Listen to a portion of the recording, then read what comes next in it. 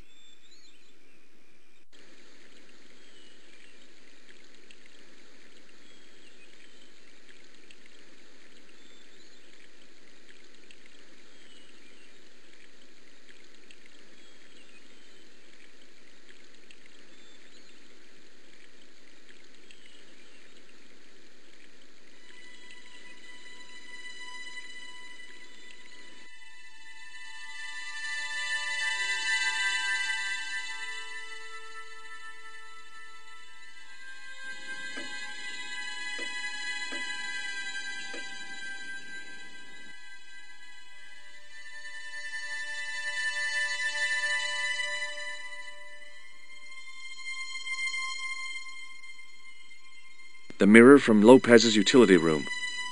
Yep, I was still looking great.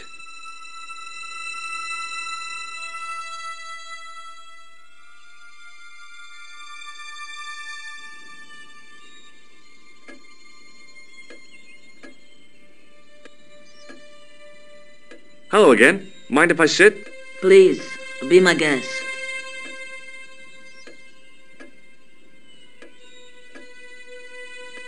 Does this mean anything to you? Nothing at all. There's still the mystery of that missing chess piece. I do not think that it will ever be discovered unless the fate of the children is revealed. The Inquisition were suspected of taking the chalice and the kids, right? We know now they were innocent of the first crime. What if They did not take the children either. Then what happened to them? the Inquisition admitted to killing Don Carlos's manservant? Now, this guy had been told to protect the kids at all costs, right? That is correct. I think he hid them and the chalice when he got wind that the Inquisition was coming. With him dead and Don Carlos driven mad with grief, there was nobody left who knew the secret. You know what this means, don't you? I fear so. The children are still here somewhere. If this is so, then it is small wonder that the De Vasconcelos are cursed. What do you make of this? It looks like some sort of key. Where did you get it from? It was buried inside the great candle in the mausoleum. Inside it. What have you done to it? I, uh, lit it. But it is irreplaceable. Listen, the candle was to be lit in case of Moorish attack, right? Well, it burnt down in no time and revealed this key thing. Maybe that was the real purpose of lighting the candle. What are you suggesting? That lighting the candle was the equivalent of break glass in case of emergency. A Sentiment must not stand in the way of solving this mystery. You did the right thing. Here's the Bible from the mausoleum.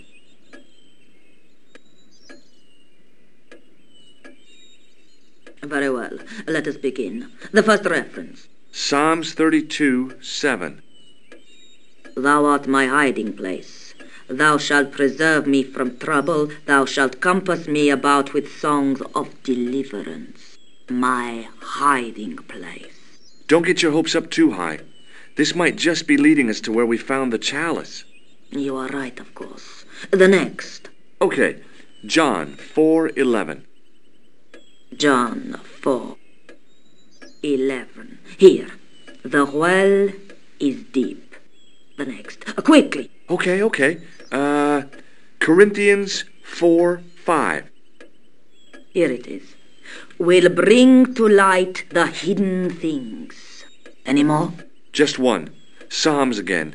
22, 21. Save me from the lion's mouth, for thou hast heard me from the horns of the unicorns. The last is confusing. Lions, unicorns, what does it mean? I can't guess. Salient points seem to be a hiding place and a deep well. In no sense is their mausoleum a well, Senor Stobbart. Is there a well in the grounds? I do not know. I suppose that there must have been once upon a time. Lopez is the man to ask about anything pertaining to the estate. I'll just have another look around. Very well.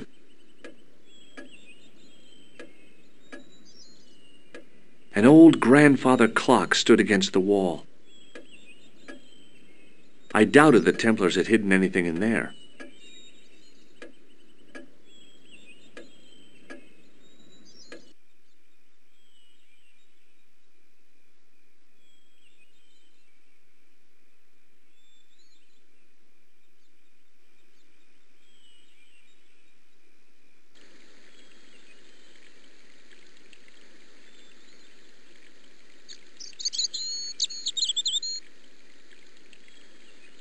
Hi, Lopez. Got a minute? Certainly, senor. How can I help you? I borrowed your mirror. I hope you don't mind. No, senor. If you think it will be of help. Do you know what this is? No, senor. Is it some kind of key? Yeah, I think it probably is. Where did you get it? It was hidden inside the big candle in the mausoleum. And you burnt it? I wondered what the light was I saw through the window. My lady will be furious.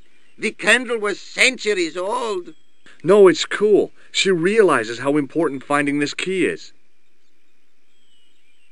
You must know just about everything that there is to know about this place. See, I have lived my whole life here in the service of the De Vasconcelos. Do you know of a well anywhere around here? A well? Si, senor. This used to be a fortified villa. How can you last a siege without water? Great! So where is it? How should I know? The well was covered over in the last century. It was dangerous, you see. And you have no idea where it was? None. It was hidden even before my grandfather's time. Well, you must have a vague idea of where the well is. It must have been in the old house's courtyard, so that would put it around here. Here? Okay. Now, how do we find it? There might be a way. Let me think about it. Any ideas yet? We are looking for a source of water, see? Yes. For generations, the Spanish country folk have had a secret way of locating water, even if it is meters beneath the ground. Ah, you're not talking about water dowsing, are you? Eh? You know, you get a stick and walk around until the stick twitches and dig there. Oh, you've heard of it. Yeah, I think most of the planet has. Okay, let's get a stick. Uno momento. It must be a special stick, a Y of hazel. Right. Do you have any hazel trees? See, here. That is hazel. Catch you later, Lopez. Adios, Senor Stobbart.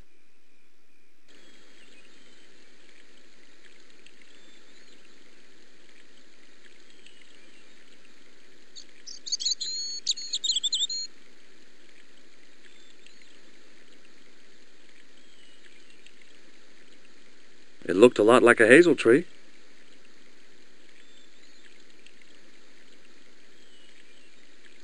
I went over to find a suitable stick. Aha!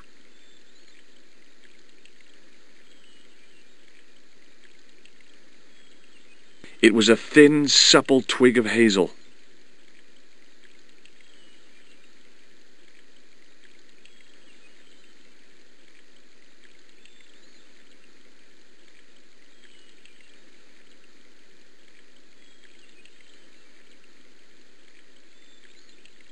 Lopez. Got a minute? Certainly, senor. How can I help you? Well, I got my divining rod. Now what? Simplicity itself, senor. Hold the wand at the upper ends of the Y. Apply a little tension with your wrists so that the slightest movement of the wand's tip is clear and walk slowly and steadily over the area. Sounds easy enough. we'll find this well in no time.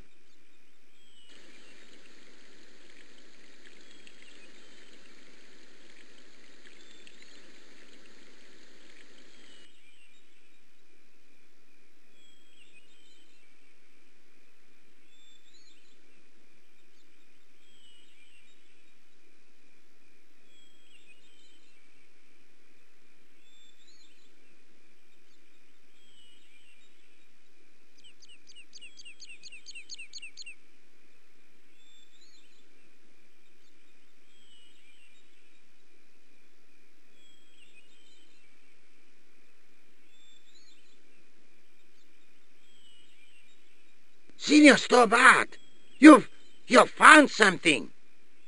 This is it. This is where we find the secret of the Templars. Hidden here for hundreds of years. Lost from the sight of man until now. The mystery is revealed. It's a tin can. I've been walking up and down with a twig in my hands, looking for a tin can. It had water in it. That's what the dowsing stick must have detected. I'd have to check with an archaeologist, but I don't think the Templars left that. In truth, Senor Stobbart, the loan was laid many, many years ago. This can could date back to the Napoleonic Wars. Get rid of it and I'll try it again. Lopez threw the can away. It seemed to fall an awfully long way.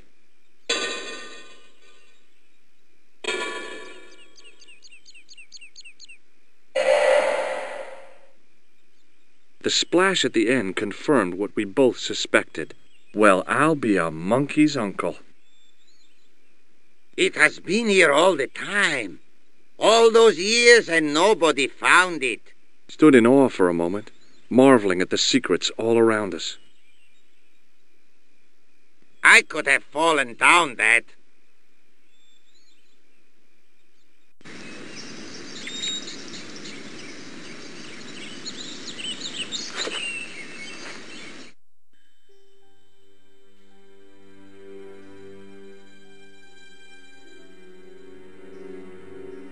The well had been lost for decades at least.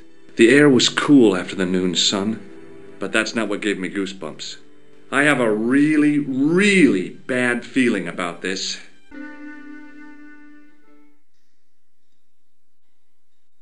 Thinking back to how long it had taken the can to fall to the bottom, I stayed as far from the edge as I could.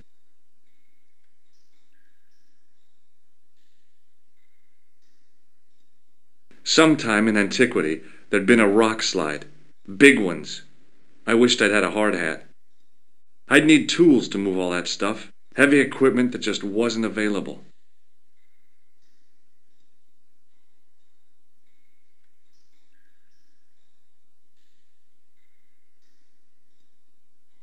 A great stone lion's head with a gaping maw full of fangs.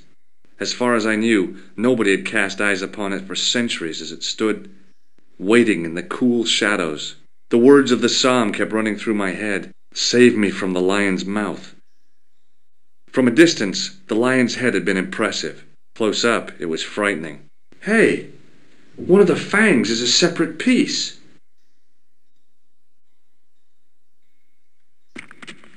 I could hear the sound of a lot of stone moving, and I knew I was in danger.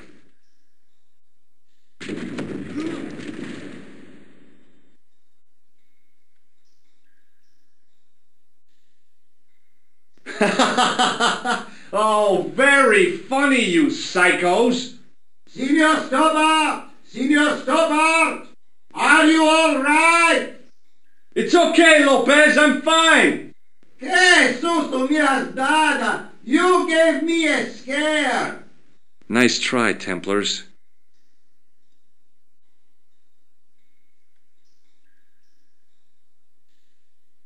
In the deep shadows, it was hard to make anything out.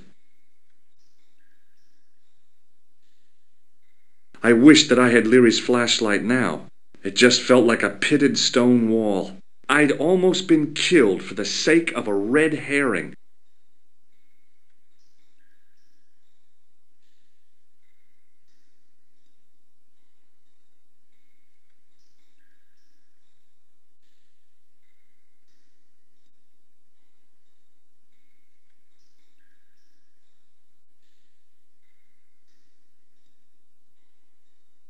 There, in the middle of the door, I could see some kind of socket.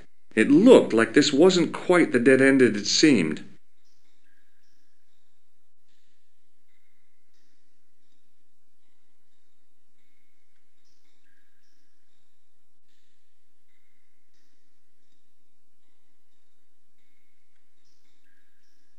Now I knew what I was looking for. It only took a few moments to find it. And there it was a worked socket, as smooth and perfect as if it had been carved only yesterday.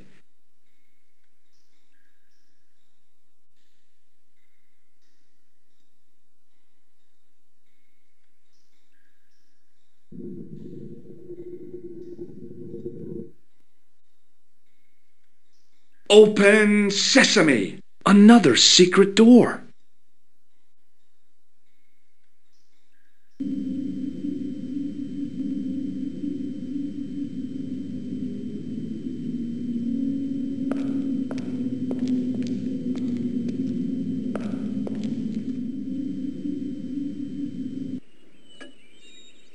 Before I left, though, there was one last thing to do.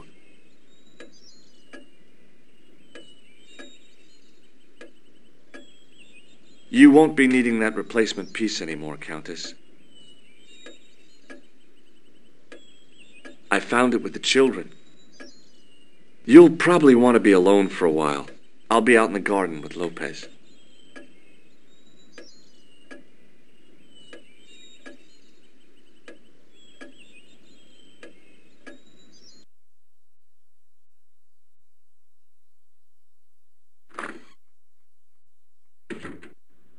George, welcome back. Come in, George. It's good to see you again. Is it? Sure. What did you find in Spain? Without Andre, we wouldn't have got this far, George. Yeah, I know.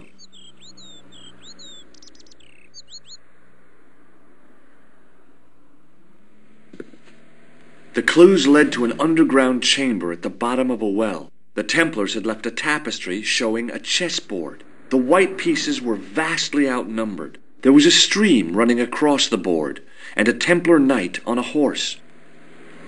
Does it mean anything to you, Andre? No, nothing. Maybe we should tell Andre what else you found, George.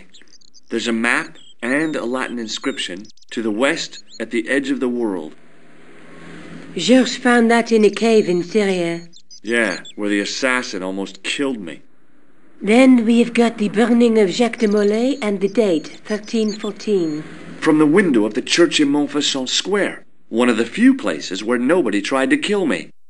Then we have the image of a church that George found at the excavation. I don't recall anyone trying to kill you there either, George. And finally, we have the tapestry in Spain. Did I mention I almost got killed there? Not yet, but I'm sure you're about to. It was only my cat like reflexes that saved me from certain death. Cat like reflexes, eh? And while I was risking life and limb, where were you, Andre? Getting your glasses fogged up over an Etruscan vase? That's enough, boys. Can we get back to saving the world? Of course. My apologies. He started it. Well, uh, the Latin phrase are the words of Julius Caesar. He was describing the island of Britain. Are you sure? The map didn't look much like Britain. How come Caesar described Britain as being at the edge of the world? To the Romans, the Mediterranean was the center of the universe. Britain was a remote, unfriendly place, inhabited by blue-painted savages. It hasn't changed much. They've stopped painting themselves blue. Except when they go to a football match. They used an extract from a plant called woad, Isatis tinctoria. The Scots were using it until fairly recently in their wars with the English. Fairly recently? I don't recall the Scots being at war with the English. How recently are you talking about? I believe William Wallace's men used it in the 13th century. They might well have been using it as late as uh, You can't remember, can you? 1314. Ah, we're back onto that, are we? Andre, what is it? What do you mean? 1314 in Scotland. The Battle of Bannockburn. That would explain the stream on the chessboard. That's what a burn is. Right, Andre? As in Bannockburn? Right, George. And it gets better. Tradition has it that the Scots were helped by a shock force of, uh, well, can't you guess? Knights Templar? Yes, a group of outlawed Templars. They are said to have turned the tide for the Scots. And it all ends at a church in the Isle of Britain at Bannockburn in a church. What are we waiting for? I'll call a cab.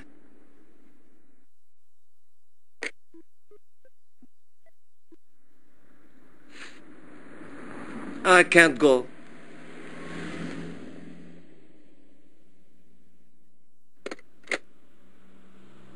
Andre, you've been loads of help, but What Georges is trying to say is that you shouldn't feel guilty. I was. We understand you've got commitments. Oh, listen, we have to hurry. Let's go, Georges. We'll see it through. Oh, and, uh, don't worry about us.